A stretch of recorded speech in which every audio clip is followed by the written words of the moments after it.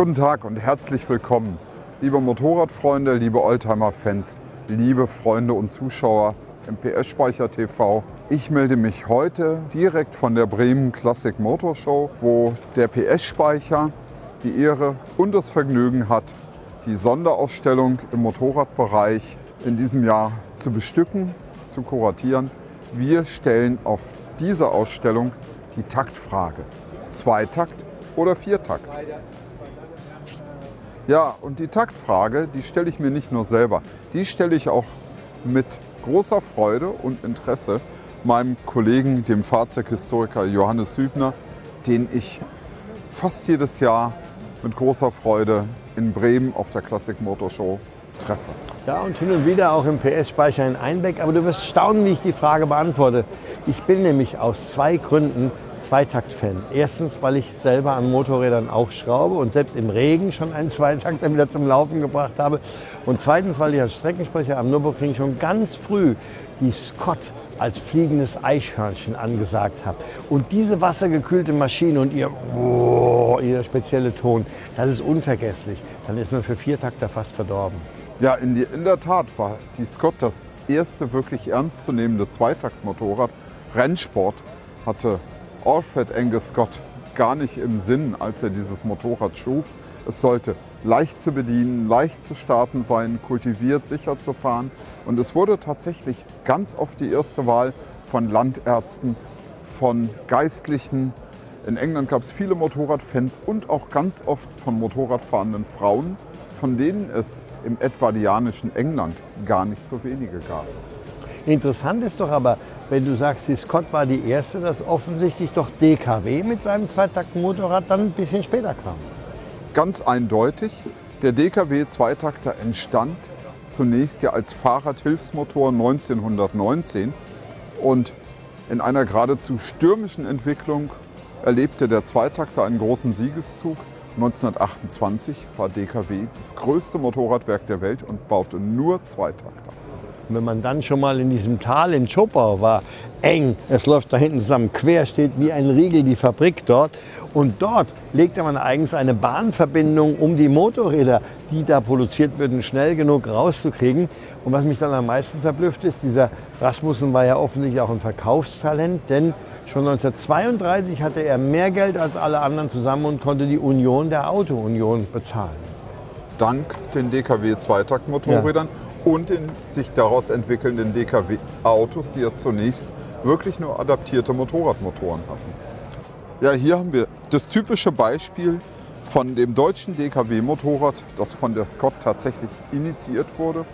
Rasmussen, der DKW-Gründer, kaufte nach einem Rennsieg tatsächlich in Marienberg eine 500er Scott. 1927 kam die erste 500er DKW, in der Tat mit Wasserkühlung.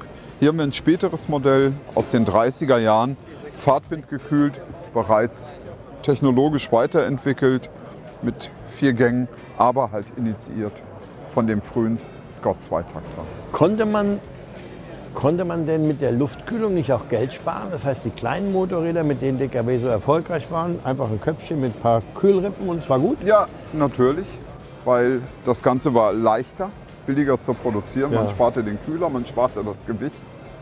Und deswegen ging DKW, sobald das möglich war, weil man die Thermik beherrschte, wie hier zum Beispiel mit dem Leichtmetallzylinderkopf, auf Fahrtwindkühlung zurück. Ja, wir waren ja gerade bei der DKW die von Scott beeinflusst wurde. Und hier haben wir auch ein britisches Motorrad, das äh, geradezu zur Blaupause wurde für ein ganz weltberühmtes deutsches Motorrad. Und das ist die britische Douglas, das erste Großserienmotorrad mit einem Boxermotor. Und äh, dieser Boxermotor ist ja Vorbild an Laufruhe, Vibrationsarmut, weil sich halt die Massen ausgleichen und schwerpunktgünstig liegen die Gewichte tief. Und war doch, glaube ich, so, dass das erste deutsche Motorrad mit Boxermotor äh, auch noch den Boxer so eingebaut hat, dass der hintere Zylinder immer im Windschatten liegt. Ganz recht, ganz also genau. Nicht quer. Ja. Mhm. Und daraus ist dann aber tatsächlich die BMW geworden.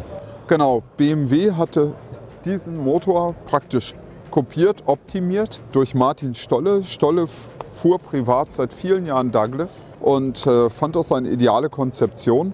Und im zweiten Schritt drehte der Chef von Stolle, Max Fritz, ein Flugmotorenkonstrukteur bei BMW, den Motor im Rahmen, dass beide Zylinder rechts und links zur Seite standen. Und daraus wurde das erste BMW-Motorrad, das dieses Jahr 100-jährigen Geburtstag hat.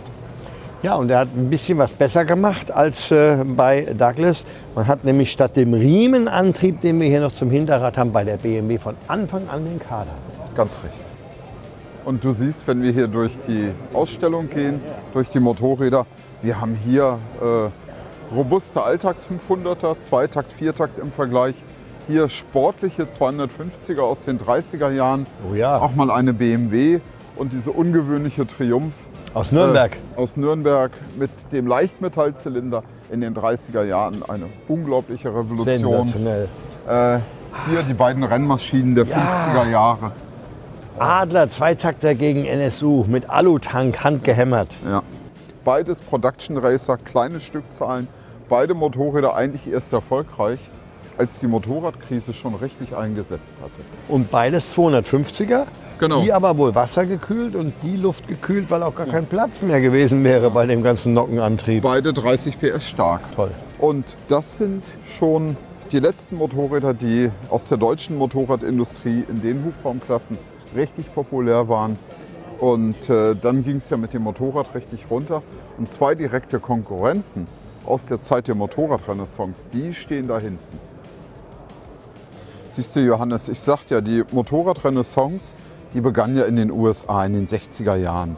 Und für die Babyboomer-Generation entwickelten die japanischen Hersteller ganz schön gemachte, raffinierte, technisch aufwendige Einsteigermotorräder. Und wir haben hier zwei Motorräder für die gleiche Zielgruppe, beide 125 Kubik, beide 14 PS, beide mit dem damals topmodischen Scrambler-Look, also auch mit so einer, einer Offroad-Anmutung, Geländelenker, Auspuff hochgelegt, Schutzplatte unter dem Motor und du siehst, was unterscheidet diese Maschinen. Ja, nur Zweitakt oder Viertakt. Du stehst beim Zweitakter, ich stehe beim Viertakter. Aber was ich auch toll finde, ist, während wir heute ja sagen, da kommen Sachen aus Asien, die sind letzte Qualitätsstufe, haben die Japaner damals alles aus Edelstahl rostfrei gemacht. Die Motorräder konnten draußen in der Sonne und im Wetter stehen und gingen nicht so schnell kaputt wie die heutigen Sachen.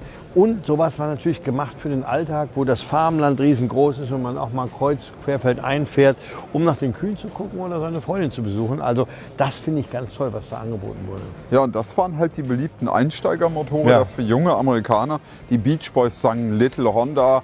Und wenn man diese Motorräder sieht, dann denkt man wirklich an Strand und Lagerfeuer. Du, in, auf diesem Motorrad, allerdings nicht in der Scrambler-Ausführung, habe ich meinen Motorradführerschein gemacht. Und es genügten damals noch vier Fahrstunden. Stellt euch das heute mal vor. Ich hatte zwei. Ah, du warst besser schon immer.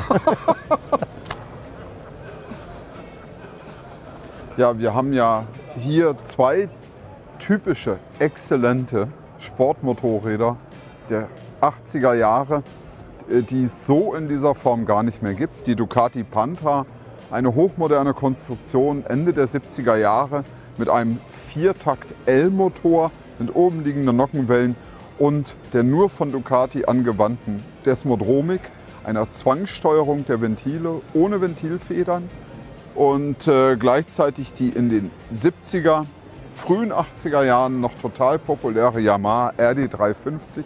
RD heißt Race Development, das heißt also hier war ein Motorrad praktisch von der Rennstrecke für den Alltag, für die Straße. Und äh, diese RDs waren eigentlich fast schon gefürchtet.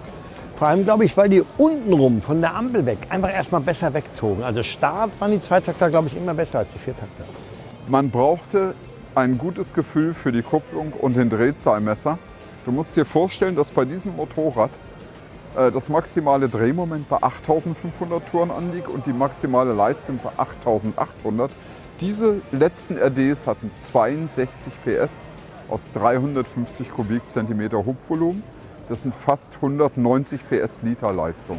Aber ohne das, hat ja, aber das hat ja die Ducati auch. Und da frage ich mich natürlich, wenn ich hier höre, L-förmige Zylinderanordnung und desmodromische Ventilsteuerung und noch viel mehr an technischen Dingen, War das nicht auch viel, viel teurer als die simple Zweitakter? Genau, die Ducati kostete auch durch die kleinen Stückzahlen, durch die teure Fertigung in Europa bei gleichen Fahrleistungen. Beide Motorräder haben ungefähr 60, haben 60 PS, laufen 190, die kostete das Doppelte. Hat man eigentlich bei der Yamaha noch das typische blaue Rauchen oder ist da die Zumessung des Zweitaktöls schon so, dass man das dahinter kaum mehr merkt? Also wenn das Motorrad kalt ist, dann bläut die tatsächlich. Und äh, im warmen Zustand, wenn die gut gewartet ist, riecht man es ein wenig, aber man sieht es zumindest nicht mehr. Also geht eigentlich das Match Zweitakter gegen Viertakter da durchaus 0 zu 0 aus? Im Grunde unentschieden. Der Zweitakter hat den ganz großen Vorteil, billige Gestehungskosten, geringes Gewicht, hohe Hubraumleistung und als Nachteil meist etwas kürzere Lebensdauer, enge Wartungsintervalle und höherer Verbrauch. Und der Viertakter ist halt das langlebigere, nachhaltige Fahrzeug, für das man aber tiefer in die Tasche greifen muss. Ist auch heute im Klassikerbereich so. So eine gute RD kostet ungefähr 5000 Euro, eine gute Panther kostet 10.000. Also bleibe ich bei meiner Zweitakter. Ja, Johannes, das hat mir richtig Spaß gemacht, hier mit dir so ein bisschen so freundlich, freundlich zu disputieren und diesen Rundgang zu machen durch die Geschichte dieser alten Taktfrage, Zweitakt, Viertakt. Wir haben hier nochmal diese berühmten Superbikes, die Anfang der 70er Jahre den Markt beherrschten und aufmischten. Der absolute Platzhirsch, die 750er Honda und der härteste Konkurrent, die Suzuki GT750, der Wasserbüffel, wassergekühlt, mit unglaublichem Durchzug aus niedrigen Drehzahlen, hohem Fahrkomfort, toller Laufkultur. Und äh, ich bedanke mich bei Ihnen fürs Zuschauen von unserer Folge PS-Speicher TV, die dieses Mal direkt aus Bremen von der Classic Motor Show kam. Dankeschön und auf Wiedersehen. Unterstützen Sie den PS-Speicher und werden Sie Mitglied bei den Förderfreunden PS-Speicher.